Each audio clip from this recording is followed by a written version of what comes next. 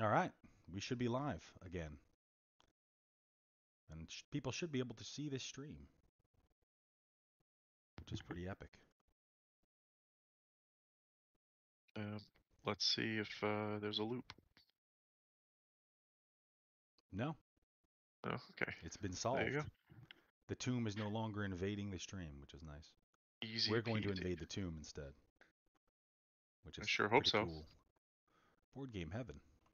Hey, how's it going?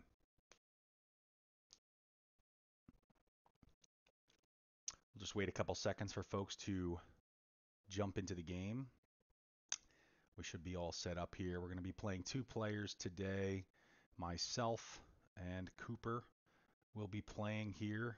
We're going to explore the tomb in the Pharaoh with the blue eyes. If I am no longer uh, Cooper. the game before, I am will have seen it James T. Temple. Yes, indeed. James T. Temple. And I will be Bianca Sinclair. Can I always everybody felt you looked like Bianca. Exactly. These are our characters here.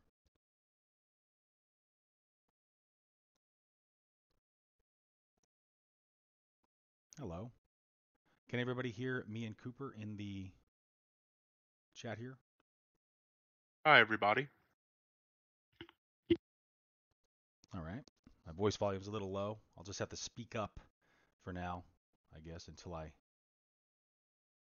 Thank you, Board Game Heaven. until I learn how to become a better streamer, which is not going to happen overnight. so, all right, we're going to jump in in just about 30 seconds, and uh, we are going to jump into the tomb here, as I said, with two players.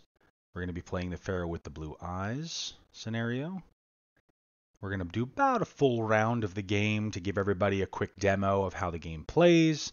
And uh, we're going to go through all of the rules you'll need to know to play. Of course, every scenario has its own unique rules. You know, uh, that's kind of uh, the the best part about the game is that every scenario um, is unique.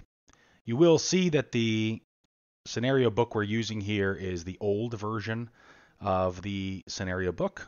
So it has older icons, old art in it, and you'll see that the icons in the game here, if you look closely at the new player reference card, uh, the new icons look a little bit different from the old icons, but I'll go over them when they come up and point out the fact that some of them are a little bit extra different, like the scenario triggered effects are a little bit cleaner, which is a good thing, but it also um, potentially could cause a little bit confusion, and we don't want that until we have an actual final game here to go. So, uh, yes, uh, Russ, the uh, what we're playing today is of course going to be in the new rules, but again, um, as everybody has uh, has wanted, uh, we have changed very little in this version of the game. Um, we are just mostly cleaning up a lot of uh, old things from 10 years ago. Most of the graphic design is all updated and cleaned up. Um, and we will do a little bit of the new Spirit Monger Spirit track here. We'll track our spirits here along the track, and we will read in the new story with Cleopatra, which is um, which is pretty cool. So you'll get to see a little bit of that as well. So we'll go over how Cleopatra can help us here in the scenario with uh, the Pharaoh with the blue eyes, which is pretty cool. I'm going to open up just a separate document here that has all of that story that we've been working on with uh, the Spirit Monger.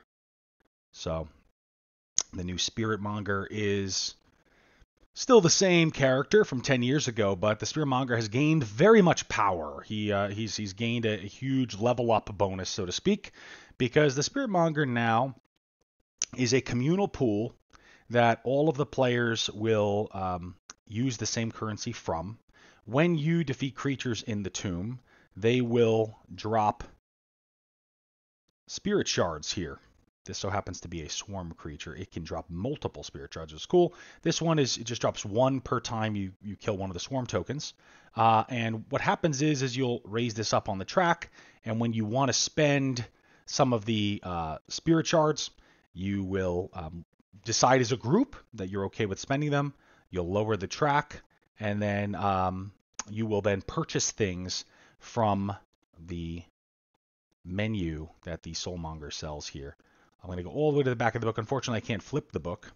Uh, you have to scroll through the whole book here on uh, Tabletop Simulator. But uh, you'll see here the Soulmonger has items and uh, menu services that you can purchase here. Those services and prices will all be updated. Um, you know, so uh, there's there's no inflation in the tomb. The prices are actually going to be reduced slightly to uh, to help the players a little bit because now we wanted to make it a little bit more cooperative this particular mechanic. So we've added in that uh, that idea that this is a communal pool that you can all spend from. Also, in every scenario, the spirits that are summoned by the spirit monger will also now have their own unique special abilities, which is really neat. So I'll go over those as well um, when they come up in the game. I don't like to overwhelm people with too many rules, but that's the one biggest thing that is unique and new in this new version of the game. So again, we'll go over it when it comes up in just a little bit. Um, for now, though, uh, we will jump right into the game. The first thing that we do in Secrets of the Lost Tomb is we will set up the main part of the game. We'll both pick characters. We will get our starting items. We'll take our character sheet. We'll slide it into our clamshell. Now, of course, the clamshells don't open and close uh, in Tabletop Simulator, but uh, they're all preset and easy for us to use in here.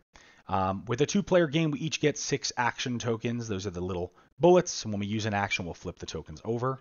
And because it's a two-player game, we're both going to get two companions as well to help us survive here in the tomb. It gives us unique special abilities and it gives us extra health so that we can survive against monsters. So, and again, I'll go over each mechanic as we uh, go through them in the game. So after we set up our characters, we basically set up whatever it says to do in the tomb. This one is asking us to set aside a couple of items and a couple of monsters and to set up the tomb in the normal standard way. So we have level 1, level 2, and level 3. Level 3 is inaccessible. We can't get to level 3 yet. Level 2 is open and adjacent to the level 1 tile here. So you can go down the stairs to level 2 anytime that you want but you cannot get to level 3 yet until we find a way down. We may or may not find a way down uh, during the scenario, uh, but the more you explore, the, the more uh, epicness that you'll find. So, we're going to dive right into the scenario here. I'm going to uh, go ahead and try to. Um, I'm not going to read that right now. I want to jump in and read the story here. So, the Pharaoh with the blue eyes. The Eternal Order of Perseus has just received word that an ancient prophecy is about to come to pass. An EOP team recently explored and photographed a burial chamber in southern Egypt, finding a collection of glyphs which tell the story of the great pharaoh Ras Azulahamet. Ruling over Egypt and the entire Mediterranean for over 333 years, Ras Azulahamet enacted his warped desires, building his empire on the backs of slaves. Sickened by his deranged ways, the great pharaoh's own advisors used the power of the gods to finally put him to rest. Because of Ras's unearthly powers, he could not be killed, so the advisors knew they had to bind him forever with the three potent talismans, and so they did, or so they believed.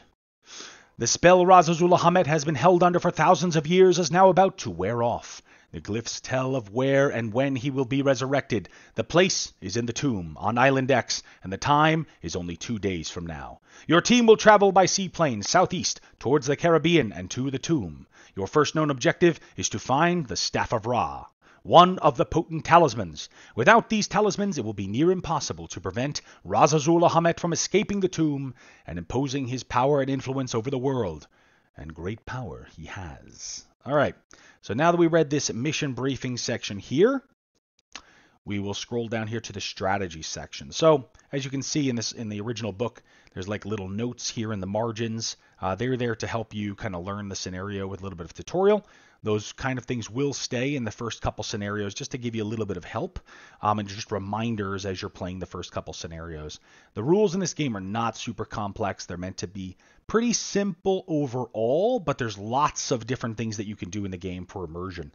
So The strategy sections are here to kind of give you an idea and remind you of what you're trying to do in the scenario to help you when you jump in. You know you're exploring, but why are you exploring what are you looking to, to try to get?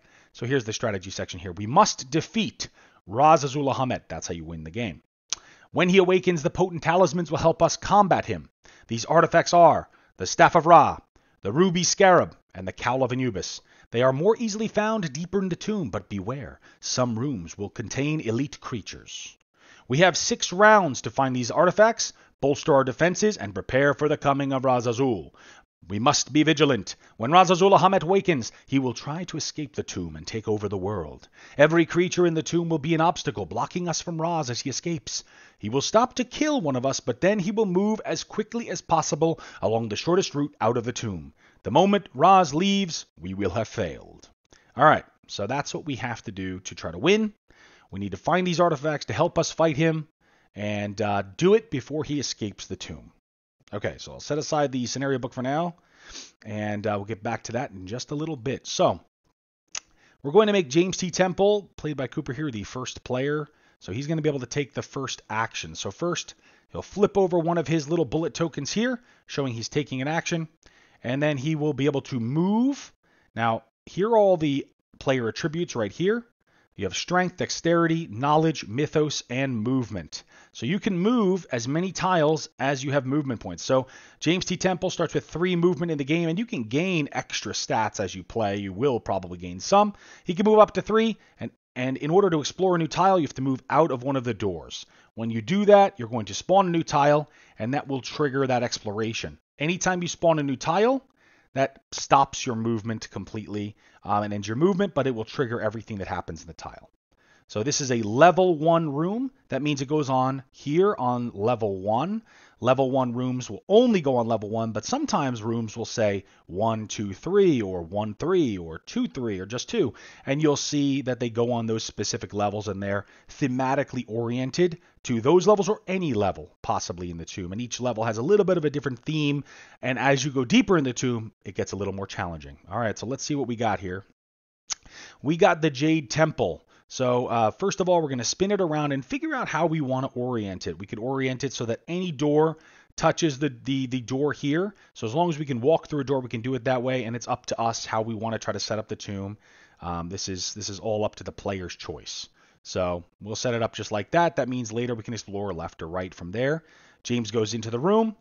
Now the Jade Temple room here is an adventure room because it has this fedora icon here. If you So- just when you go into stuff like that, you just hit Alt and it'll blow it up on screen. So Oh, yeah, yeah, like that's a good idea. around and There stuff. we go. Hold Alt and boom, we can blow it up, and I don't have to spin people around and make them dizzy. That's Yeah. just the tomb doing it. It's not me. Uh, so we have to fight against that power. So yeah, here's the Jade Temple here. As I said, it's an adventure room. So we're going to draw a story card, and we're going to get an adventure. So this is a misadventure on one side. You flip it, and it is an adventure on the other side. So here in this adventure, I'm going to read it to the other player, and when it's my turn, the other player will read the cards and, and story stuff from the scenario to me in case it's I'm the one who's actually uh, spawning it. This way, it's a surprise, and you don't spoil the pass or fail effects uh, when that's happening. So, it seems this bizarre device is called a soul crank, judging by the strange letters etched on its side. Tubes and wires connect and intersect in strange ways all around, and you find weird glass bottles containing glowing blue liquid. You investigate closer. This is a knowledge 2 check, obviously, because there's two books. That means you need two successes. So James is going to have to roll knowledge. James has a 2. So he's going to roll two dice. He doesn't have any other things that give him knowledge bonuses right now. So he's going to roll two dice and he's going to be looking for fives and sixes. A five or a six on the dice is uh, is equal to one success. So James got one success. He got one six. So unfortunately, in this instance, he would fail. Now, if he wants to, he can use an audacity point. That that's these green here, and he's got five points on this green track. If he wants to, he can use an audacity point to re-roll the entire roll. I do not want to do that at this time. All right, so you would end up failing the roll. Womp womp. Now let's see what the fail effect is, and sometimes the fail effects are really fun. And because it's an adventure, it's usually nothing too bad that happens, but uh, this one um, doesn't look so great. so it doesn't say soul crank, it says bone crank. You accidentally turn it on, and an icy gas begins to fill the room. The icy manipulation of the machine chills you to the bone. You feel very sick and lethargic. You get the minus two health, and you get the status effect slowed. That's very nasty, actually. For one, two, minus two health. So we're going to get the slowed status effect. Uh, the status effect deck does not really get um, shuffled much. It is more of a status effect token deck. You'll kind of search through it. You'll find the status effect that you need, and um, then you'll just pick it up and go. This one gives you minus two movement and minus two dexterity while you have it, which is really nasty. Now you always get a minimum of at least one in a stat, so you'll have at least a minimum of one movement while he has this. But uh, hopefully we'll find a way to get rid of it. You could also use the rest action on a future turn to roll a die, and on a five or six, he'll be able to discard it. So. All right. so that was pretty cool, uh, but bad. Normally, adventures turn turn out to be good stuff, but uh, that was not a good stuff. So now Bianca will go. I will flip over a token. Now, just to go over what I have again a little bit, I have a bullwhip. I have a uh, 45 caliber pistol, and I have two companions with me. I have Roger D. Martin and Earl Hawk with me. Roger D. Martin does give me some extra stats, which is really cool. So I get plus one movement from Roger and plus two strength, which is pretty cool. He's here to help. He also gives pluses to combat as well. So uh, because I have plus one movement, I actually have six movement, which is really fast. Now Bianca Sinclair's a cat burglar, so she's really good at uh, moving, running around the tomb, and exploring. Um, so uh, I'm actually going to take um, Bianca a little bit closer toward the second level. I'm not going to quite jump down there just yet. So I'm going to just go down over here and I'm going to explore to the north. So let's see what we get. We found the Shrine of Fertility. So the Shrine of Fertility is a misadventure room here. So um, I'm going to go ahead and get a misadventure and I will let Cooper read it to me so it's a secret. You ready? Yes, indeed. This room is overgrown with spines and thorny plants. You carefully navigate through, only snagging your clothes on a few small spikes. You're almost safe when the plants come to life and attack. Whoa. All right, so it's a one mythos check here. Yeah, it's so chess mythos for this. unfortunately, I only have a one mythos. We are uh, finding some good tough ones here to show. So I have a one mythos. That means I only get to roll one die. Um, I really don't want to fail this, so I am going to uh, go ahead and spend an audacity before the roll to give myself a potential success on a four, five, or six. So instead of doing um, a five or six, I'm going to get a little bit of an extra bonus chance to try to succeed. Um, as Pentrals, I see your comment. We are making the tiles interlock. They will be puzzle pieces. We just couldn't do it here in Tabletop Simulator um, or in our regular prototypes. But if you look at the video on the GameFound campaign, you'll see that they they show that there's a video of the interlocking tiles there. So um, we just want you to know they will all be interlocking in the final version, which I think is super helpful because when you want to move the full tomb and you, and you start building out, it's easy to slide the whole tomb down by having them interlock. So they will be interlocking, so no worries.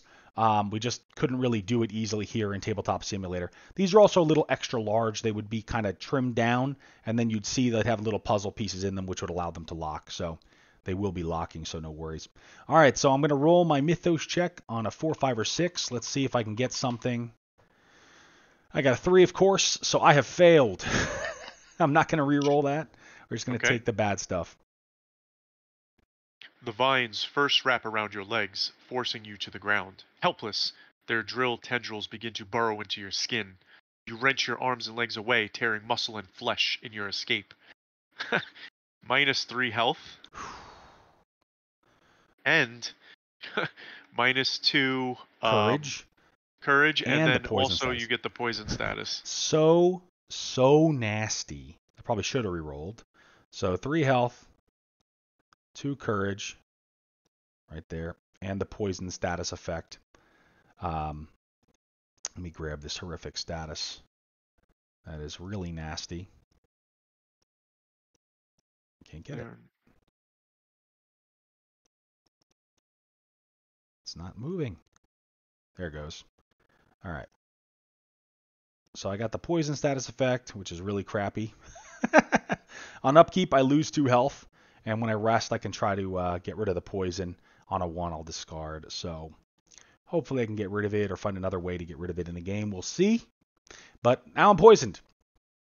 That is pretty nasty. That's nasty. Um, so really quick, obviously, when you lose health, uh, you know, um, one, two, three, there. Uh, Not not down to two, I'm down to nine. Uh, when you lose health, obviously, when you go down below one, your character would die, and you would, uh, if the bo- boss has not yet spawned, you'll actually respawn as a new hero at the beginning of the tomb, and you would go ahead and join the game again. Um, the tomb track would raise by one, and you would just keep playing. Once the boss spawns, though, if you would be killed, you would be out of the game. You'd be dead and gone, unfortunately. So, yeah, thanks, Ganon. Yeah, I almost just completely took like uh, 10 health instead of 3. So, it happens. And then with the courage track here, this is kind of a horseshoe looking track. Um, my character Bianca started on plus one. Uh, when the track, when you would go up here on the track, you actually gain bonuses. They are um, temporary bonuses that you gain while your courage is in these thresholds, and they are cumulative. So as you go up here, for instance, once I get above plus three, I'm plus four, five, or six, I get plus one to combat and plus one to adventure checks, which, um, you know, wouldn't have helped me on the last one. But once you get plus seven, eight, or nine, I'd actually get plus three to misadventure checks, which would have been awesome. Uh, unfortunately, of course, we just started the game. I didn't get any bonuses yet, so uh, I didn't have that yet. And if you ever get to plus 10, you get a permanent special bonus. This one is the Wings of Mercury status effect, which is a really powerful, awesome status effect that lets you move really fast and do some cool stuff. Now, when you go lower here, uh, you get the negative aspect of it. So for this one, I'd lose a combat, I'd lose an adventure, uh, a roll, a die to adventure checks, and then when I go even lower, it's minus three to misadventure checks. And eventually, you get to negative 10, and you would flee the tomb. Uh, now, when you flee the tomb, it's uh, literally your character is physically has gone kind of crazy. They are completely scared. Um, they can't take it anymore, and they try to run out of the tomb. The tomb is a very scary, creepy, weird place. So basically, they would spend every action they can to try to run out the front door of the tomb. So on my character's turn, for instance, if I was at the negative 10 and I were to flee the tomb, because my speed is so fast, I would, uh, on one move, get out the door. Now, if a player is ever in the way of you as you attempt to flee the tomb, you stop and they will make a special check to try to calm you down. It's a calm down check. And if they can calm you down, they prevent you from fleeing the tomb. If they fail, uh, you technically will keep running and you will try to escape the tomb. If you do, just like getting killed in the tomb, you will respawn at the front of the tomb with a new character and continue playing uh, unless the final boss has spawned. If the final boss has already spawned, it, you're out. Uh, you flee the tomb. You, it's just like if, as if you died. You'd be out of the game at that point. Um, we don't like player elimination in games at Everything Epic, but um, in this particular instance, uh, if you get uh, defeated by the boss in essence, or the boss has already spawned, it's one way you lose the game uh, by dying or fleeing the tomb. So uh, at that point, there wouldn't be too much game left to uh, to be out for, so to speak. So that's that's how those mechanics work. Again, it's one of the ways you can lose the game in this cooperative game. All right, so with all of that explanation said here, and all of these uh, wonderful status effects that we have found, uh, we will go ahead and continue exploring. So James only has one movement, but luckily he has places to go, so he can go through the Jade Temple room there to uh, to the next room over. And wonderfully, he found the ceiling spike trap. Awesome. So, uh, like Indiana Jones and the Temple of Doom, uh, James needed to try to find the the latch that's hidden somewhere. So he has to use his knowledge to hopefully find the latch or the lever to turn off the ceiling spike trap. He's got two knowledge, and we're going to hope for the best uh, that he can get that one success that he needs to prevent uh, the ceiling spike trap here. He didn't get it. Um, I am going to spend an audacity. Good idea. on You do have a lot of audacity, so that's pretty helpful. So you spend an audacity, and when you spend audacity, you have to re-roll the entire roll. or you can spend it before the roll in order to succeed on four, fives, or sixes, or you could do both if you want. And that roll was not any better. I'm gonna do it Dang. You Gonna spend another one? All right. Yeah, I don't want to take goes. this five damage. All right. That's much There better. go. You got two successes. You passed. Now, uh, so you wouldn't take the five damage, which is really nasty. Now, um, the ceiling spike trap, unlike other other traps, it only has one trigger. Once the ceiling ceiling spikes come down, they're locked into place and they're down. Um, but other trap rooms can can potentially have multiple uh, triggers on them, and if they do, you would take a uh, trap token, you'd put it on the room, and for every time a player would walk through that room later, it would trigger the trap. You would know that it would happen, and you'd have a chance to either avoid it or trigger it, or like Bianca here, she has a special ability called Trap Master. She gets bonuses to trap checks. Of course, she didn't go through the trap, uh, James did. And uh, on action, she can actually use dexterity to disarm traps and remove trap tokens, which is cool. So that's just something that uh, she can do, um, which is neat, because every character is completely unique. So, well, that was uh, another awesome find there, James. So uh, Bianca will continue to explore, even though she's poisoned. Maybe we'll find something to cure it with, uh, or maybe we'll find one of the potent talismans, which will be nice too. So uh, I will continue exploring uh, north here and see what we find. Actually, no. I'm scared that now I know James has uh, been slowed. I'm actually going to try to explore closer to James. I'm going to Thank you. since I have so much movement, I'm going to explore a little closer. And then if I need to help James or, or vice versa, um, he'll be able to possibly, hopefully, move a little closer. So uh, again, I have I have crazy movements where I have six movement right now. So I'll go one, two, three, and I'll explore um, this way a little further. Let's see what we find. Oh, uh, Leif Erikson's Grotto. Leif Erikson's Grotto uh, has two effects on it. Uh, the exploration effect here is what you always trigger first, if it has one. So the exploration effect here is plus one movement. As if I didn't have enough movement, I'm super speed now. I am the Flash. So we will take this cube and we will place it on our movement track here. This just goes to show we have plus one permanent movement. So our movement is now six, plus Roger DeMartin's bonus, helping us move faster with inspirational speeches, plus one more movement. So I actually can move up to seven, which is really, really fast now. Uh, also, we have a scenario trigger one effect. That means we will go into the scenario book. We will look at the scenario triggered effects section here. Now, again, these are the old icons. So this is a new icon.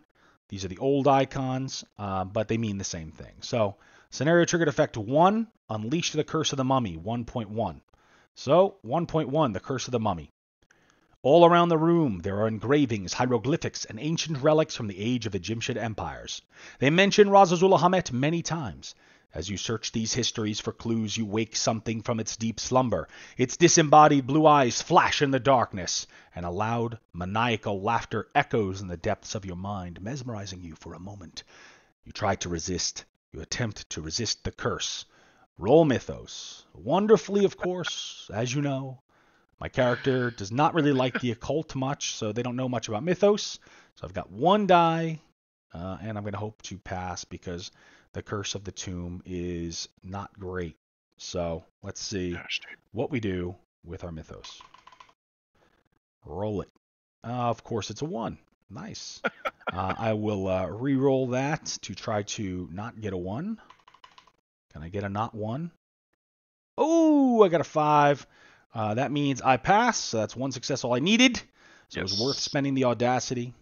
Definitely. So I resist the curse. And of course, if I failed, that would have been marked by the ancient Egyptian curse of Razazul, and that would get curse of the tomb, and that is really nasty, especially being poisoned as well. So that's not good. Now back to Jimmy. Let's see what Alright, Jimmy's I- got. Still only got one movement, so I am going to move one here. Try to explore. All right. So let's see what we get here. Uh, this is a level 2 3 room. So we'll actually discard that. And instead, we will spawn this room here. Uh, this is Mount Olympus. Woo! So Mount Olympus is a really cool and unique room. Uh, it is a scenario trigger f- one room, like we just saw. Also, it is a Zeus's Bolt search room. Uh, that means on a future turn, you can do an artifact search by rolling your current audacity in dice to try to find Zeus's lightning bolt. Uh, and if you do that, you'll get a really cool artifact.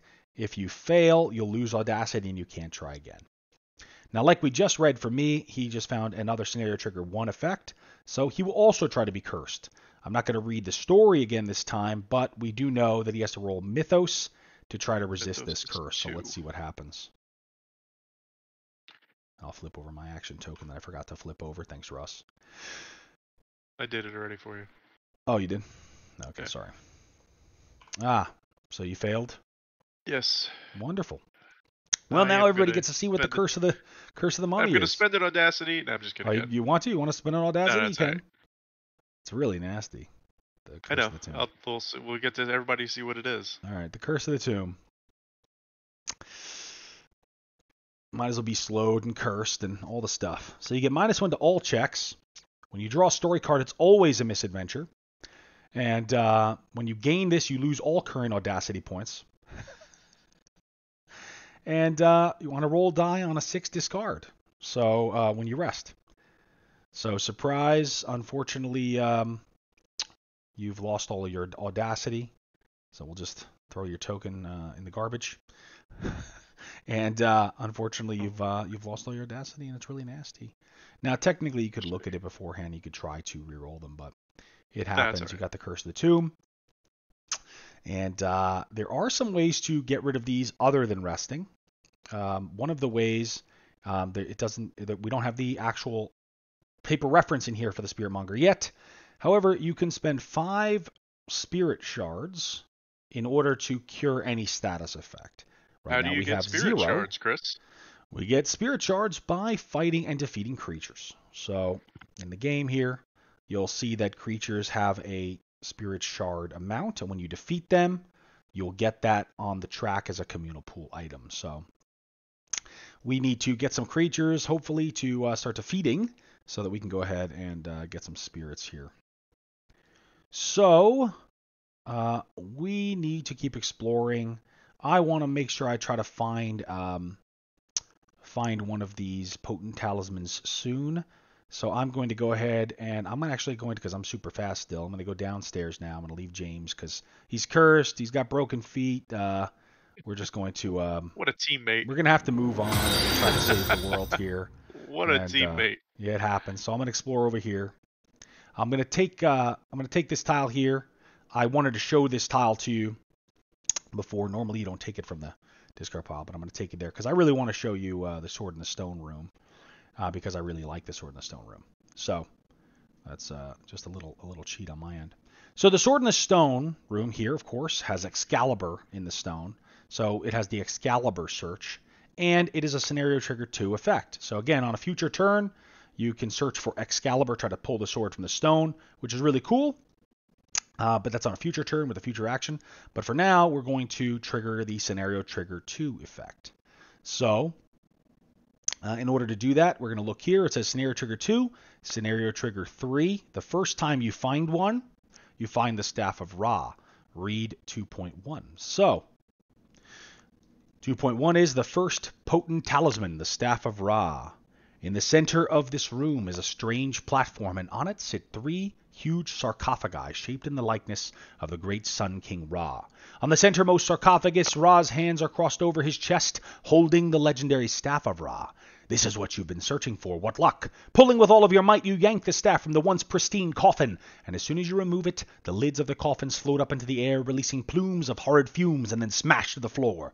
Out of the coffins emerge three huge reanimated mummies. This can't be happening. The legends are true. So we will spawn three huge reanimated mummies here. So we will get the Keepers of the Tomb. Again, normally I would set these aside at the beginning of the game, but because we're here in Tabletop Simulator, it's usually easy to just search the deck like that. So we are spawning three mummies in the room here. Once we defeat them, we will get the Staff of Ra. I'm also going to take out the three potent talismans Staff of Ra, the Cowl of Anubis, and the Ruby Scarab, which are again supposed to have been set aside at the beginning, but I was trying to hurry up. to get people started here. So those are the three potent talismans. This is the Staff of Ra. It is a, a two-handed Mythos weapon, and on use, you will get plus 10 to undead.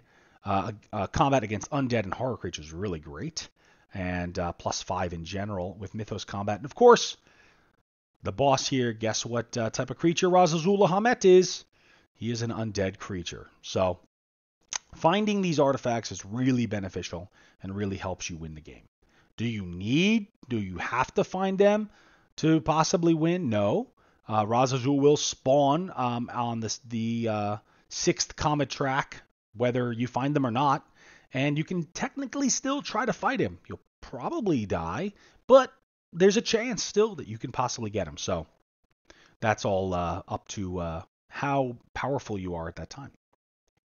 So now that I've explored this room, my action is over. I can't continue doing anything. Can't attack them yet. But um, it will go back to James, and when it comes back to me, I'm going to try to fight them. James is going to, uh, I don't know. Um, you're probably going to have to rest. Yeah, it's probably a good idea. So when you rest, you take the rest action, you spend one action token, and then you do all of the rest items. So on rest, you can gain two courage or two health or one in one, and then you get whatever other potential rest actions that are uh, that are um, options here for your for your status effects. So you're going to try to get rid of slowed and curse of the tomb. Uh, which one do you want to try for first? Well, I will do curse first. All right, curse. You need a six on this check. You failed, unfortunately, and you cannot re-roll it. Cursed. You're still cursed. Now let's try to get rid of slowed, which would be really good. Five or six. And uh, you keep slowed as well, unfortunately. So, uh, so yeah, that's a bummer. But at least you got some uh, courage or health, or a combination of both. What did you take? I just took two uh, courage. Okay, so you uh, hype yourself up after not being able to walk and being cursed. Yeah, I get I get angry because my my anger fuels into bravery and courage. It's whatever it takes to uh, try to save the world here. Um, sometimes bad things happen, but we're going to endure and we're going to do our best. Um, uh, okay, as you well, at least you rested in Mount Olympus. That was pretty cool, hanging out with uh, the spirit of Zeus over there. So, uh, looks like I've got three actions left here. So I'm going to go ahead and fight one of these mummies. I'm going to drag one over here so I can show you what we're doing all in one place a little bit easier. So here we have the Keeper of the Tomb. Uh, in order to do combat, um, we will first take a courage attack, and then we will make our dice pool with our weapons, and we will fight against the creature um, and the, against the creature's combat score. The most important thing about combat that I always tell people to remember is it's it's very simple to remember. Um, when you attack the creature or you do combat with the creature, it's always the exact same thing as when the creature does combat with you during the tomb phase. So the creature never rolls dice. Um, creatures and, and and and enemies they never um, specifically do anything um, on their turn that will be their own rolls or, or things that you have to roll against yourself. Um, I don't like rolling dice against myself. I like rolling dice against monsters. So when we do combat with the creature or the creature does combat with us, it's always the same roll. So we will make our dice pool the same way during the tomb phase and on this phase. We roll it and then we test it against the creature's score. All right. How do we do that? Well, Bianca Sinclair here has uh, a pistol and a bullwhip. Um, they are both dexterity weapons, and they are one-handed dexterity weapons. That means she could dual wield um, because we think that's cool. So we uh, allow her to dual wield. So she will get to get the bonus from the pistol and the bullwhip plus whoops plus her dexterity. So she's going to get four dice for dexterity. She's going to get plus one for the bullwhip and plus three for the pistol. Okay. Then we're going to check her, her um, her companions here, she's got plus one against undead from having Roger D. Martin, which is pretty cool. So she's going to get eight dice for her weapons and her decks, and an additional plus one die for having Roger. Now, Earl Hawk here also has a huge cool bonus per round. When you do combat, you can tap him or turn him to get plus four combat and succeed on a 4, 5, or 6. I'm going to save that for my next combat so that I can go ahead and um, blast that out. So, um, again, the first thing I do when I fight a creature is I'm going to take a courage attack. So he's got a 2 courage attack, so I'm going to lose 2 courage. 1, 2. When I defeat the creature, I'm going to get to regain some courage, which is pretty cool. So that's what we're going to move on to. Uh, Davi Gozavir. Um, you are correct. You can actually gain courage using the rest action above your starting courage. I wasn't sure. I didn't notice here. He actually did do that, so would really have to regain health here in this instance. That's a good call. Nice one. Yes. You can't rest to regain higher than your starting stats. Um, but you can gain courage higher, of course, in in-game effects and using special items and things like that as well. Yeah, thanks for pointing that out. You're correct.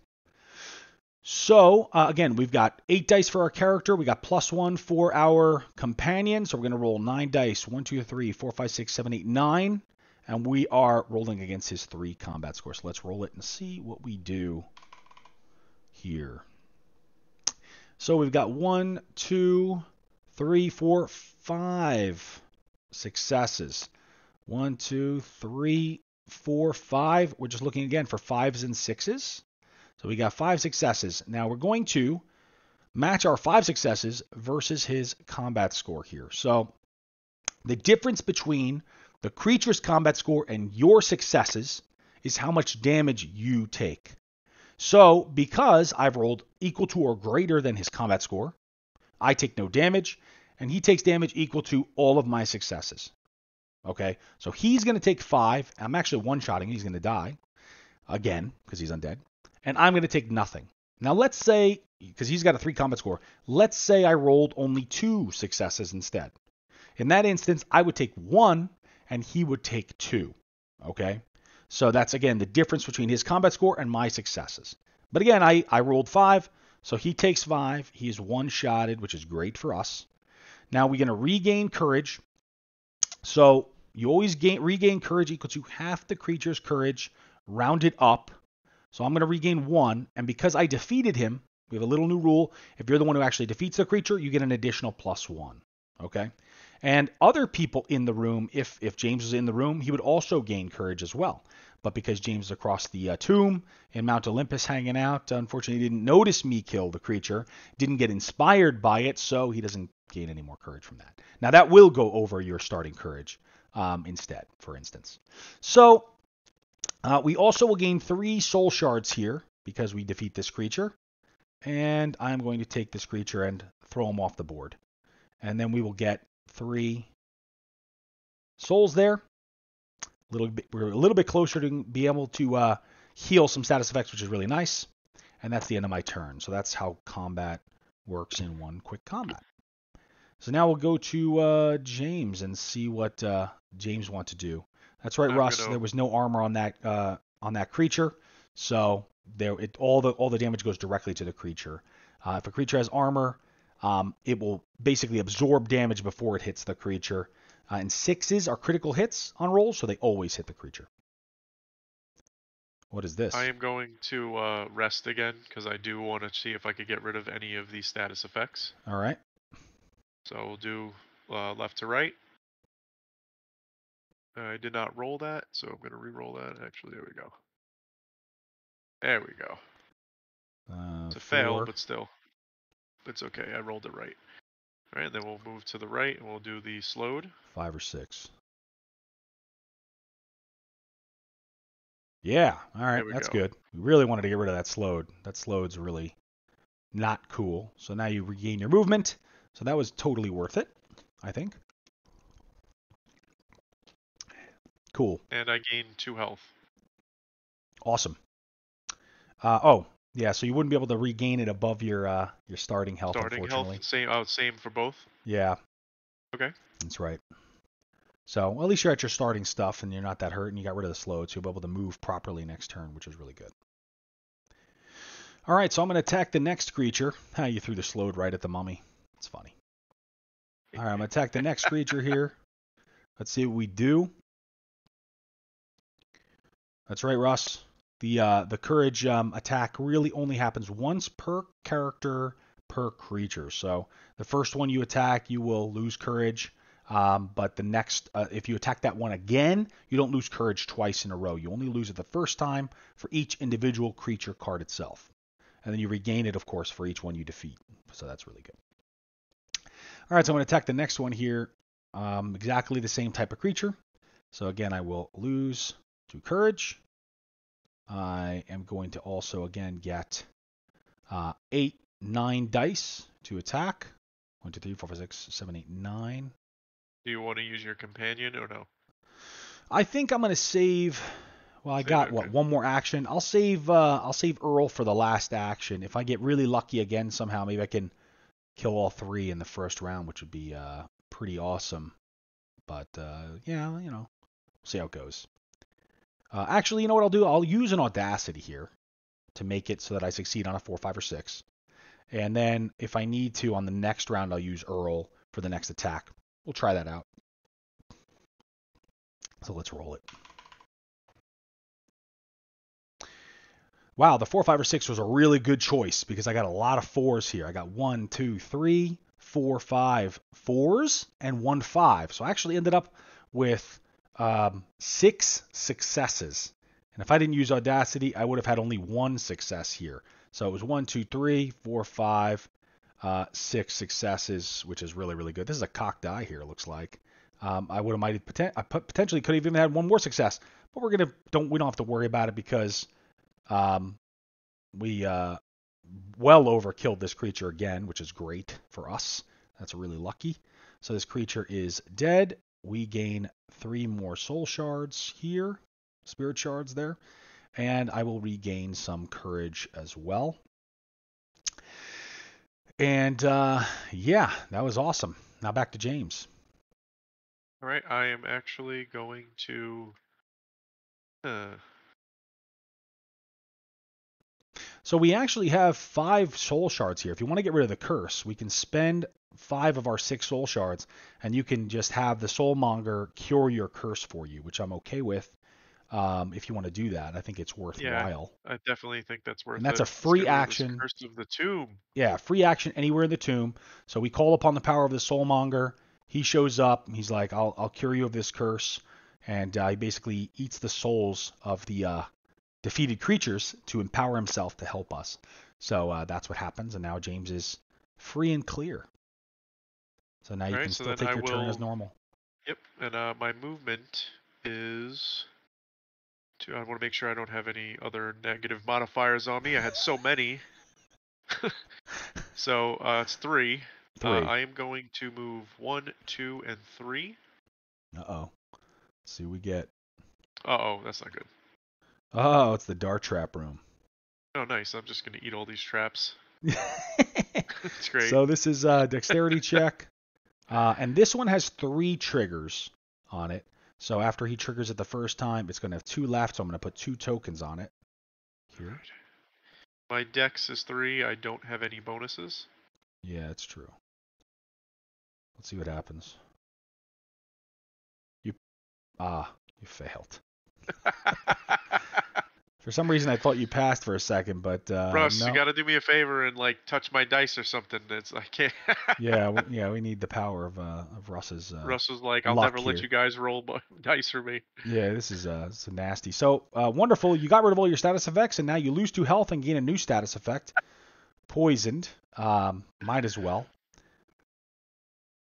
Uh, unfortunately, I don't think I have more than one of each card here in the prototype, so I'm going to just give you my poison. We'll share poison. So um, here we uh, we both have poison, and again on upkeep we'd lose two health, and uh, when we rest we would roll a die and try to discard it. Um, I've just been ignoring my poison just to uh, to keep going. Um, I don't mind if I have to take some little health damage at the end of the round. I will do it. So, well, you you, you got another trap. That was good stuff. Good job. And I'm going to attack this creature. It's funny because we're getting all beat up. We have all these things, but we're actually doing okay still. Um, uh, so far, we almost have the first potent talisman, and it's only round one. So we're getting a little beat up, but uh, we're not doing so bad actually. Although I did use all my audacity too. But anyway, um, I really want to try to, to defeat these creatures. I'm going to use Earl Hawk's power. This is a once per round ability. This is my companion here. Uh, we will just turn him to show that we've used him once per round. When we do, we're going to get plus four combat, so I'm going to get 13 dice, lucky number 13, and we're going to also succeed on a four, five, or six.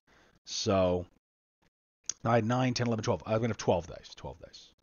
All right, so no, no, I get four plus four for Earl Hawk. Sorry, four. Yeah, four. Yeah, Uh, I 13. think I was right. because this is a, a locked uh, thing that you, we can't uh, replicate the components. Just so you guys know. Oh. Um. Hmm. Can I clone? Does that work? Oh. Okay. oh. Nice job. Yeah. There you go. Let's clone some poison. Yeah, you're right. You, we got oh, it. it's Thank you. disabled for me. Thank you. Thank you. I'm lear- yeah, I guess I have the game master uh, ability here. Yeah, no, that was great. Thank you very much. I actually didn't realize I could do that. I'm I'm still fairly new to tabletop simulator. But yes, and yeah, thanks thanks for spreading the poison. We we I was trying to just give it to him, but uh yeah, so now I have poison too. Anyway, Earl Hawk plus 4 dice. I'm uh to roll 13 here. Let's uh let's see on a 4 5 or 6. Let's see if I can one shot all these creatures. I've been I've been doing really well here with uh my rolls. Let's see how we do. One, two, three, four, five, six, seven, eight, nine successes on the four, fives, and six. We rolled a lot of four. This is an epic roll. One, two, three, four, five, six, seven, eight, nine, nine successes. Oof, ooh. This guy just just explodes in a cloud of dust and and bandages. and we get plus three again. Um, I didn't take the loss like I normally would. Uh, that would actually give me one minus one uh, combat. I messed up, so it should have been minus two first, and then I would have actually lost a combat. But with the nine successes, we still did it, so it's okay. And then I'd regain one here for defeating him. Um, and then we get the Staff of Ra. So the Staff of Ra again is super powerful. It's meant to be a Mythos weapon. It's actually showing knowledge right now, but it's supposed to be Mythos, two-handed weapon. So if you want to, you can use this as a Mythos weapon. My Mythos is kind of crappy, so it'd actually be better if it was knowledge. But it's actually meant to be a Mythos weapon. You get plus five to combat with it, and then again you can spend a, a trigger, uh, excuse me, a, um, uh, a, uh use of it to get plus 10 additional combat against undead or horror creatures. And it has only three uses. Now, I would never in this scenario want to use all three uses unless I was using the last use on Razazul and I knew I was going to defeat him with it. Because once you get rid of it, you would lose its additional scenario effect. So the uh, the Staff of Ra has unique. Why do I keep doing that? Unique abilities against Razazul. So the Staff of Ra, Razazul's combat rating is reduced by five, and Razazul's combat rating is extremely high here. Just bring it over here so we can see it at the same time. Razazul's combat rating is 18, so we want that to be reduced. It's really nasty. And then if you have the Ruby Scarab also, he can't trigger his special abilities. So we never saw special abilities yet. They were on the mummies, and it's because I rolled so amazingly that they didn't come up. However, Razazul and his mummy friends have special abilities, and they trigger whenever you would roll a 1 in your roll, and you would take damage. But because my successes were so high, I never took any damage, and so my ones didn't matter. I did actually roll, I think, at least, yeah, I had at least one, I had a couple ones in my last roll, but my successes were so high I didn't take any damage, so the special ability doesn't trigger. But if you would ever, even take one damage, you'd still trigger the special ability whenever you um, roll a one against a creature with a special ability. So, uh, of course, uh, Razazul has the Mummy's Curse as his special ability. And if you have the Ruby Scarab, it doesn't do anything. Uh, and then the Cowl of Anubis, Razazul cannot perform his Courage attack, and his Courage attack is a 7. So he's extremely scary, extremely powerful. Um, we'll look at the other artifacts with him as well for fun. So we'll take these over here real quick. The Cowl of Anubis here gives you plus 1 armor. So that means you just reduce armor. And then when you take damage, you reduce the damage by 1 to a minimum of 1. So this just reduces lots of damage for you and also gives you an armor. So it reduces the damage and reduces an additional damage beyond that, no matter what. So it's it's it's pretty pretty powerful. And then the Ruby Scarab on upkeep, it's the opposite of poison. It uh, heals you to um, every turn, which is really cool. And this one can raise your maximum health um, as well. So you can see the cards here. Um, I'll, I'll, alt them for you as well to make them a little bit uh, a little bit straighter to read. But um, this one also gives you a plus two mythos permanently. So the person who's using the Staff of Ra, and if they have the Ruby Scarab as well, they'll have an even better combat score with it as well. And there's the Cowl of Anubis. Also, when you while you're holding Alt, if you web wheel, it'll make it bigger and it'll stay that size. Ooh. Oh. Yeah. Now, now when you Alt, it'll blow up that big every Huge time. Huge cards. I'm learning. I'm learning. The next stream will be even better, I promise. Let's look at my leather jacket. Okay, cool. That's great. Yeah, I didn't. Even, I had no idea. it's really good. And here's the staff of Ra. So you can see them really big on the screen. It's a lot easier to read now. Probably even easier to read than when you have physical components, but uh, the person running the uh, the actual game here has to know how to use all of the cool tabletop simulator stuff. So that's really cool. Thanks for the uh, suggestion. It's a good one. All right, so we have defeated the three keepers of the tomb. We've gained the first potent talisman, and that was one round basically of the game here. Um, and so we, I think we did pretty well, although we did get a little bit beat up, but uh, we made it through the first round really well. So at the end of the round, when all players have spent all of their actions, we then draw a tomb card. Okay, the the tomb cards. There we go. uh, have a unique special ability, a tomb effect. Some of them are good, some of them are bad, some of them are somewhere in between. This particular one is a good effect. The first player may draw an item from the discard pile. Uh, there are no items currently in the discard pile, so unfortunately you don't get anything, but uh, that's the effect. Um, the second thing you do, and you just follow them in order. So the second thing you do would be to move creatures.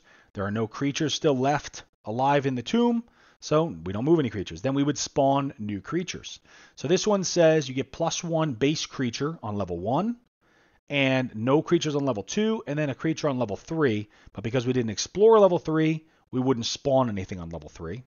And creatures spawn on misadventure and trap rooms, and possibly some other rooms. And the way you normally would know that is because those rooms would have red outlines around them. Again, the prototype doesn't have them, but we would spawn them in misadventure or trap rooms. And we would choose the one that we want to spawn them in if there are multiple options. Because James is in this trap, we're not going to spawn a creature on him. We have the choice as players to choose where to put it. We have a misadventure up here, so we could put it here, or we could put it here if we wanted to. I think it's probably better to put it away, as far away from James as possible, as to uh, not mess him up. Um, we're going to put the Revolutionary Poltergeist in here. I also drew the Carnivorous Scarabs. Uh, this is a um, swarm creature. These are actually set aside at the beginning of the scenario. I didn't, again, I, am naughty. I didn't do that. I was trying to hurry up and get into the scenario to not uh, waste too much time. So I didn't uh, set them aside properly. So when I drew it, I would just put it to the side for now. But uh, these are swarm creatures. These will spawn on the next scenario triggered effect. Um, and they'll be protecting, of course, the Ruby Scarab. So we would have to defeat them, uh, a couple of these guys, to get the Ruby Scarab uh, on the next scenario triggered effect. Uh, so anyway, we did our, our monster spawn here. The looks like James decided to haunt himself. So uh, the Revolutionary Poltergeist is a unique creature. Um, they instead of having a combat score, they just have a really high armor, and then they have a higher courage attack. Um, so they actually don't deal any physical damage, but they scare you. So um, in order to defeat them, also because they have five armor, you need to deal them one damage that either is a critical hit, which is a six to get through their armor, or you'd have to roll six successes to defeat them. But again, they don't deal any physical damage because they're ghosts. So that's how those guys work as well.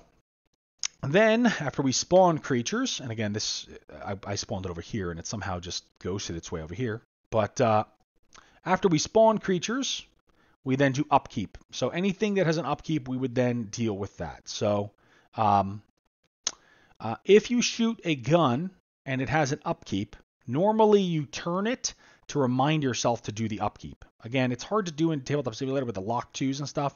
I'd have to like move it and then leave it over here or something. So I didn't really do that, but I, I remember anyway. So because I shot my gun, uh, that means I have to check and see if it's out of ammo. So you only do that at the end of the round. So you keep shooting it the whole round. You can keep using it over and over, but at the end of the round, you're going to see if you actually ran out of ammo. So now we're going to roll a die and on a one discard. So let's see, do we discard our gun? Hopefully not. Nope, we're good. That's full of ammo still. Um, we would refresh our companions that were used. So we refresh our Earl Hawk so we can use them again next round. So that's cool. Um, and uh, Gonna take the you never got to shoot your gun, and even if you did, yours doesn't have upkeep, so you don't ever have to worry about it. This gun is a very powerful, really good gun, so it never has upkeep. It doesn't run out of ammo. You can lose it other ways. The game could just tell you to discard your weapon for some crazy reason. It can happen uh, randomly, magically, um, but that didn't happen, so you don't have to do anything for that. Um, and so we don't have any, any other upkeep right now to deal with. And um, Poison. the poison, uh, you don't. Nothing happens with the poison until you. Uh, oh, we have to take damage. Oh, boo. All right, so we take our poison damage. Two damage a person. Womp. Oh well, we'll have to cure that someday. Or maybe we can uh, beat the game before we die from poison. Who knows? um, then we have uh, what we the old mechanic is called the search mechanic. That's removed from this section of the game. Uh, the search mechanic may, is is right now not in the game anymore. We took it out for now. We may bring it back as a deck of cards where you just draw a, a search card when you want to search a room to see if you find extra items and stuff like that. But right now we removed it because it had a very fiddly little token from 10 years ago that we don't want in the game. So we're taking that out for now, and we may re-implement it as like a little deck of cards for search cards. But for right now, you don't have to worry about it on the tomb card. It's not lo- no longer on the tomb card. And the last thing you do is you raise the comet track. So this particular card says raise the comet track plus one. So we would go over here and we would raise that to plus one. I also have a cube here on six because on comet track six, Raz Azul according to the scenario, if you look in the scenario triggered effects section, it says the Great Pharaoh awakens on Comet Track 6. So the one downside to using the alt thing is I can't show people stuff with my mouse, which is sometimes useful. So I'm doing that now. Comet Track 6, the Great Pharaoh awakens to read 3.1. So eventually when we get to Comet Track 6, we would go to section 3.1. We would follow the rules. It has a little story. It tells you where to spawn Razazul um, and what to do. You'd also then read, it says that after you spawn him, you'd read 3.2 and you read all of the rules for Raz. We kind of skipped ahead and looked at some of the rules on purpose so that we can have an idea what the magical items do so I can give you a little bit of an idea for that. So once we do all the upkeep and we do the comet track, that's the end of all of the, the tomb phase. We would then reset all of our actions and we would start the next round and we would keep playing and continue from there. So that right there is one round in the game of Secrets of the Lost Tomb. I just wanted to take a, a quick quick hour. This has already been an hour. Time flies when you're having fun. Take a quick hour to just do a quick demo here on uh, stream to show people the game um, and give you a little idea of how the game plays. Um, as in this one, as you can see, random stuff happens. We had a lot of crazy uh, bad stuff happen to us, but we also had some really interesting and some good stuff happen to us. We had some great rolls. We fought the monsters. Um, so this was again just a quick demo. We're not going to play the full game right now, but if you guys want us to play more of the game, uh, we can do that on a future day where I can set it up and we can sit here and play for a couple hours and play through the entire game uh, without as much uh, stopping for all the explanations. Um, but for right now, what I'd love to do is stay for a few more minutes and just answer questions in chat. We have about 30 people here, which is awesome. Thanks for coming. We really appreciate you coming and checking it out. And we will be posting this also as a video later. So if you want to rewatch it, look at certain parts, laugh at us as we get poisoned, um, watch us as we fail rolls, uh, watch us as Yeah. we succeed and roll crazy epic rolls and, and defeat monsters, you can rewatch it. And for the people who couldn't make it today, they can rewatch it as well. So uh, if you guys have any questions, I'll, we'll, we'll stay here for a few minutes and be happy to answer questions, show you specific things. Feel free to just go ahead and uh, type it into the uh, into the chat if there's anything you want to uh, to take a look at. We'll be happy to show you a little bit of a closer look. And again, if you guys like these, feel free to comment on the Gamefound campaign and let us know that you liked um, us playing the game. We can also do future streams post Gamefound campaign where we're maybe playtesting game components, where we're maybe showing off unique new scenarios and stuff like that. They'll have spoilers, of course, to story stuff, but the game is unique and different every time you play.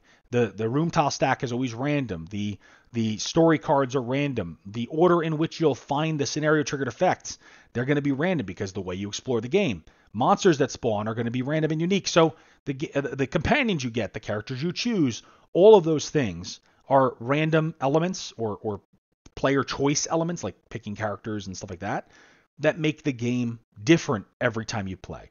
Um, so it's super super replayable. Um, this scenario played out because we chose to explore this way. We got these tiles um, and did this stuff. Uh, and because of our roles, the way we were able to play also changed. Because James got slowed and he got cursed and all this stuff, he had to rest and try to cure himself so he could try to move better because he got slowed and, and, and couldn't move really well. Otherwise, I'm sure he would have come to try to help me fight the monsters and stuff like that. So that just worked out. And because I rolled really, really well. I was able to kill these monsters really well, and I, I, used my abilities, used my companions, all that stuff to help me fight. So they really help.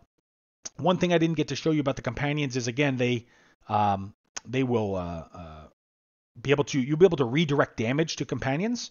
So as a scaling mechanic, when you play with less characters, you'll get companions, and the companions are there to give you um, extra health so you can survive longer in the tomb. If I was just one character with only 12 health, and I, I took the damage myself the whole time, but if one character only 12 health, I would have to take all the damage, and uh, would be much more difficult with less characters. But because you have companions, you can redirect damage to them. Um, Roger and Earl, they have 12 and then 17 health.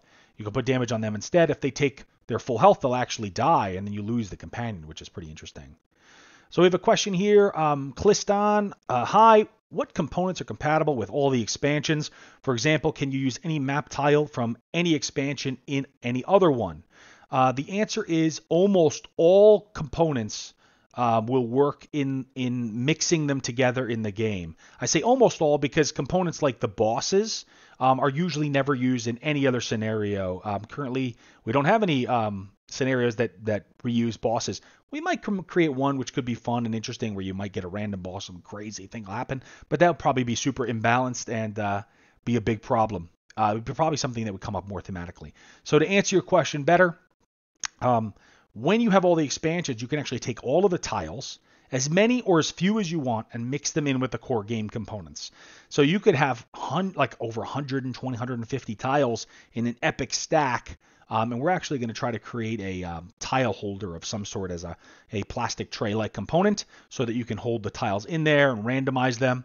Um, and if you're looking for specific tiles, most scenarios will, uh, if they're specific, will they'll seed will seed the tile earlier in the um, in the top of the stack, so you'll find it a little bit sooner, so you don't have to search 100 tiles because that's not necessarily necessarily fun. Or we'll give you a way to spawn the tile by finding other things in the game. And those will be mechanics that are put in the game because, again, we want you to have fun and enjoy the game. We want you to have feel good moments. Some moments are going to be, uh, you know, maybe bad things that happen in the game, but want you to feel good when you're doing them. Again, you'll have all the tiles to mix into the game. You'll have artifacts, you'll have items, you'll have characters, uh, you'll have base creatures and elite creatures. Um, you might get new tomb cards. You'll get new story cards in the game. So there's a lot, a lot of things. Maybe new status effects, and they'll all mix in and you'll get other things that'll spawn them. So it'll create tons and tons and tons of variation in the game as well. Uh, all right. So Jay said, "Is there a best player count? I can I play solo, but I normally play with two or three hand solo, not true solo. So honestly, the game plays great from one to six players. It's fully scalable no matter how many players you play, and that's because you're playing with six, uh, excuse me, you're playing with 12 actions per round. So um, when you play with six players, each player gets two actions per round. The game still moves just as fast. It's just as engaging. Um, and when you take those actions, you actually have a benefit of being able to spread out. You have more characters to take damage, more characters to come into rooms and help do combat and stuff. Um, but when you play with lower player counts, you just get more actions per round for that character, so they get to do more stuff within that round with uh, less ability to technically move around. So um, it, it scales really, really well and you also get of course get the companions so there's no true i would say there's no true best player count i would say play with the amount of players that make it more fun for you so if you enjoy playing solo um, you can go ahead and uh, play solo and enjoy that. If you like playing and you want to play with a big group of six, it plays great with six as well. So I think that that's that's always a good way. Um, one way to point that out here in the rule book. This is again the older rule book with the older graphics. I'll show you. There's a little uh, um, there's a little. I'll use my alt at the top there. It says adventurer setup. That little table there will show you how to set up for different numbers of players, and it gives you uh, the different amount of actions you're supposed to take and companions and stuff like that, which again scale the game for those numbers as well. So that really helps out. Russ asks, does search still remain uh, a character action option? So again, as I said, we're changing how, how the search works just to get rid of a couple of the little old school fiddly um, component items. And I'm going to play test the search deck, which, believe it or not, is interesting. It's the original first version of search that I created uh, 10 years ago. That was a little like a little search deck, and if you decided to search, you'd spend an action, you draw a card, and see what you potentially found. You might have to roll a die or do a check to see if you're able to find something in the room. I removed that um, back then and, and, made a different component, uh, but I never really liked how it worked. I always felt like that that action was just so extra, and I wanted it to be a little bit more streamlined. So right now, a lot of the things you can do with search, you could do with the spirit mongers. You can spend spirits to buy items, to find things, to to cure yourself, to to do different types of things in the game. They're there to make it easy and more accessible for you, and it's a reward for defeating creatures and doing things. So that's that's a major part of the game. So um, the search will still probably be there, but it'll probably be there as a deck, which will just make the game a little easier um, uh, to uh, make that action a little bit more accessible and easier to use. Uh, let's see. Forum Lurker. It sounds like a new creature in the tomb. How does the removal of a search token affect the finding of items? So the search token would change uh, basically how difficult it was to find stuff, and it would change every round. And so uh, removing that will just make it so that it's more of a true random with possibly some kind of a check element in it. So the search card, you draw a search card. On the search card, it would give you, um, let's say, uh, it'll say you find an uh, roll, let's say roll knowledge to find an item. You'd roll knowledge. If you passed, you'd find the item. If you failed, maybe something else will happen. Or maybe, depending on the number of sex- successes you found, you would find a certain type of an item, or you could search the item deck. So it'll, it'll be completely unique and different um, depending on what you're trying to do or what you possibly are searching for. Search cards might have options on them. So again, it'll be a little bit more thematic, a little bit more immersive, um, a little bit more interesting, and just simpler having the little uh, the little token. Everybody in the original version had a little token near them. You had to turn it every round. You had to remember to turn it. Other things could possibly change your search ability, um, and it was just an extra thing you have to keep track of. So uh, we want to just be careful with making players keep track of too much stuff. One of our goals with this version of the game is to clean up how the player tracks their stuff. The original character sheet was a little bit more difficult to track everything. It had a lot of dials and things that can move and be jarred and stuff like that. So this version, we're trying to, I mean, we, we don't want to remove the cool stuff. We want to keep the immersive cool stuff, but we want to make it easier for the player to manage that cool stuff and easier to track. That's the goal. So we will uh, we'll make sure that the searching is more thematic and more immersive. Um, Undying Spite says, Are you losing courage for each creature when using area combat? So, area combat is um, one of those unique mechanics that is kind of a pressure luck. It is um, a very dangerous thing to do, but you can attack multiple things with multiple creatures. So, you will definitely have to lose extra courage, but you'll have a chance to possibly defeat multiple creatures and save actions. So, it's kind of that that plus or minus thing, you have to choose whether or not you want to, go ahead and do that thing. Very few items currently have area combat in the game. We will be adding a few more interesting things. It usually is um, like atomic gun, machine gun type of things. Again, this is a pulp action adventure game, so we don't really have tons and tons of machine guns um, that exist as as often that are easy to carry around in your hands. But we we do go crazy. We're, this is everything epic, so there's going to be uh, all kinds of machine guns and stuff that we'll put in, but they're just a little bit more rare than your everyday uh, regular weapon of some sort. Um, but yes, it is it is a little bit more. It's it's you do lose more courage. You, you you have a chance to take more damage, but you also get the chance to fight more creatures at once. So you want to do it when you're ready and when you have the the power, to, so to speak, to be able to to handle it. Um, Toretto 1989, are you adding things to make the setup faster? So I think by um, making the graphic design overall cleaner and tighter, it actually enhances making the setup faster. But the thing to note is the most important thing is every scenario has a different setup. So just looking in the old scenario book here, um, for the the Pharaoh with the blue eyes, the only setup we really had here is um, the uh, set aside the artifact cards, set aside the creature cards, and then the tomb was just level one, two, and three, which is the standard setup that's shown in the rulebook setup. In other scenarios, you'll see there will be other little things that you have to do. So for one if by land, two if by sea here, uh, it'll say like you have to set aside the revolutionary poltergeists, the two bosses, and then these tokens, and then you'll have to set aside a unique tile, um, and you get a specific artifact to the expeditionary leader. That's really the whole setup, and then again, standard setup, level one, level two, level three, and then your characters. So it's it's really setting up the components and the characters, but the setup really usually only takes maybe five ten minutes max ish. Once you know how to play the game, the setup is not no more than five ten minutes, and it and most of the time is players deciding what character they want to pick because there's so many cool characters to pick from. So that's honestly usually, um, from my experience from running the game a thousand times, uh, the biggest thing that I think takes the longest is uh, players picking cool characters and then getting their items and putting all their stuff around their character. So five ten minutes max, maybe 15 minutes. Um, the the the hardest part I think would be is um, picking which expansions you want as a part of your your game. Once you have that all set up, and in all-in box, we're going to have ways to to store and mark what's in the box, so that to make setup even faster, so you can just pull the stuff out of the box and put it on the table and use it.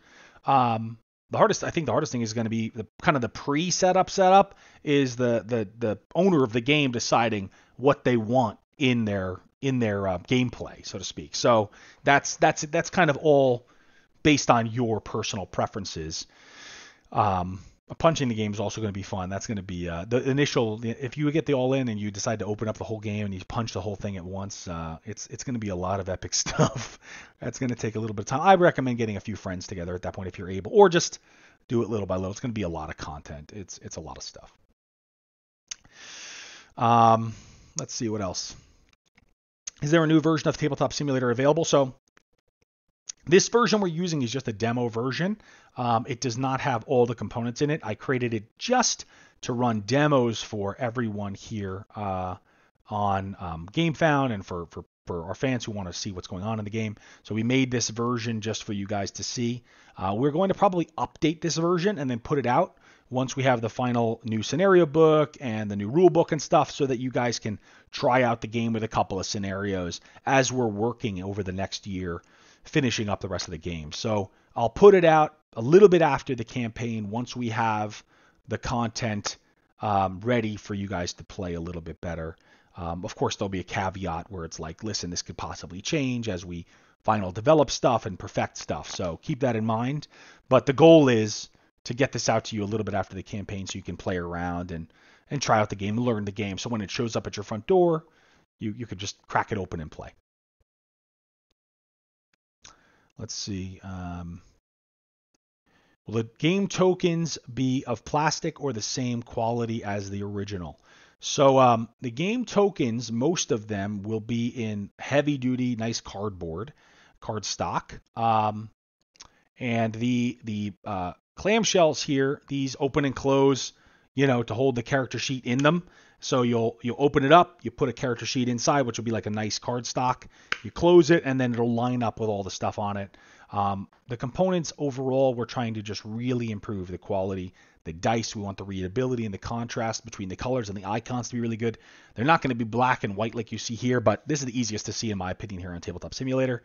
Um, we're going to again, our goal is to upgrade pretty much everything in the game. The quality of the original game from 10 years ago to the, to the new version of the game, we want everything to be better. The trays, I want them to be nice and heavy duty and really usable so they'll hold up over time. So the trays you have in all of the versions of the game, I want them to be really nice. So um, they will be cardboard cards, the plastic stands and everything that hold the characters. This is not a really exact representation of what the plastic stands will look like. This is just what Tabletop Simulator has. But you'll get plastic stands, and then of course we have, and I have one on my desk here, the uh, the plastic um, tomb dials, I'm calling them. I don't know if you could see that. Okay.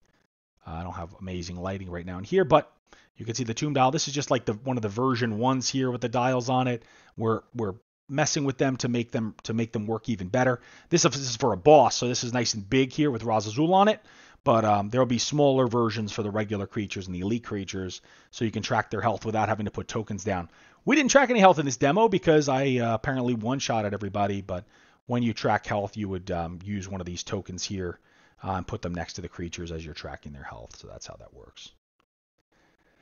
Um, and the card quality is going to be also important to us. Um, usually we use like a, uh, a, German or blue core type of a card. Um, we don't like heavy gloss cards, uh, but uh, I might potentially go with the linenized. I'll have to try it out and see what's most readable. So I always try to get some samples of cards to get what's really nice and readable and, and what works really well with a nice snap.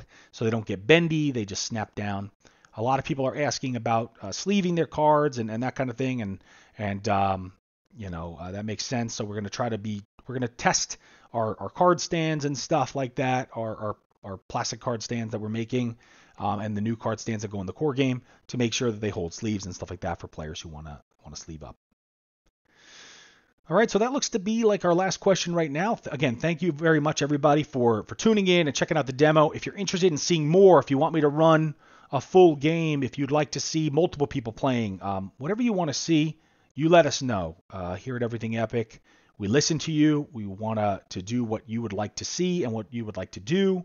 Um, so, you know, put in the comments on the Gamefound what you'd like to see uh, here on stream. If you want us to stream more stuff, show off demos, um, do different combats, do full games, let us know. Uh, again, Sam Healey from the uh, Flip Side of Board Gaming formerly of the Dice Tower. Our friend Sam is going to be running a full game this Friday. Uh, well, I guess that's tomorrow. Uh, coming up, he's going to be running a full game uh, with uh, his friends. Um, I think one of his friends and then his wife as well. So they're going to be running a full game tomorrow at, I believe, 1 p.m. Pacific time, which is going to be uh, 3 Central for Eastern. Not sure what the European translation to that is, uh, but he'll be running one tomorrow. Um, tomorrow also is Veterans Day, so to all the veterans out there, thank you very much for your service. And uh, if you are a veteran and you're off from work, or maybe you have to still work, but you want to take a break and you want to tune into that, go right ahead and tune in and you can check that out. But of course, we will also be uh, getting that as a video version too. So if you can't tune in, we'll put out the video version of that uh, full gameplay as well. Um, I'm going to be watching that chat so I can help him out with any rules that might come up. And if you see a rule, like Russ, if you tune in and you see something that comes up in the in that chat, feel free to go ahead and let them know kindly. Uh, hey, uh, here, you know, maybe you missed turning a token or something like that. But they're going to play a physical, the physical prototype version. Um, it's going to look a little different from what you see here. He might have some old components mixed in. I sent him some other stuff to use so he can have a pretty good, fun, full game. So again, uh, tune into that tomorrow if you want. And again, let us know what you want to see. Send out some comments. And again, thank you so much for all of your epic support here in uh, in our Gamefound for Secrets of the Lost Tomb. It means a whole lot to us. Uh, again, we're a small company. We want to make really epic games for you. So thanks for your support. We can't make these games without your help. So again, thank you. And um, we'll be back with some more streaming and some more stuff later on um, at other, uh, other on other days during the campaign, after the campaign. We'd love to do some more stuff for you. So, again, thanks so much, and uh, we'll see you and talk to you again soon. Have a good one.